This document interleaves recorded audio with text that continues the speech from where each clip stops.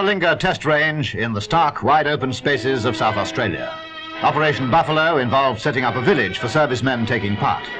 And the team of scientists was headed by Sir William Penney, seen arriving to supervise and observe the atomic explosions. Tanks were one of several target response items. 25 pounders and ack-ack guns were another. How would they stand up to the explosions at various distances? All had to be tested first, of course.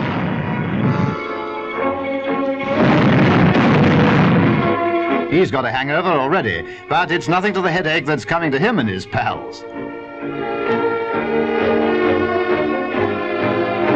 Special camera towers were built to make the film record we'll see in a moment. Quite an assignment, I should think. And for everyone present, the few seconds before each device is exploded must arouse a feeling of extreme nervous tension.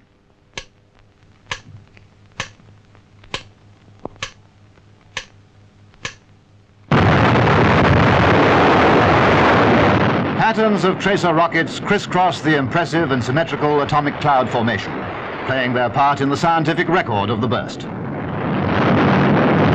And scientists in special protective clothing advance to the target area. If the scene of havoc is less impressive than might have been expected, remember that these test items were placed many miles away from the explosion.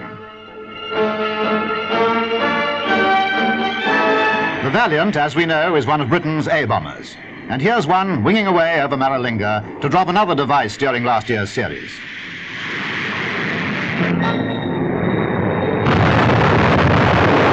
Altogether, four atomic blasts were carried out.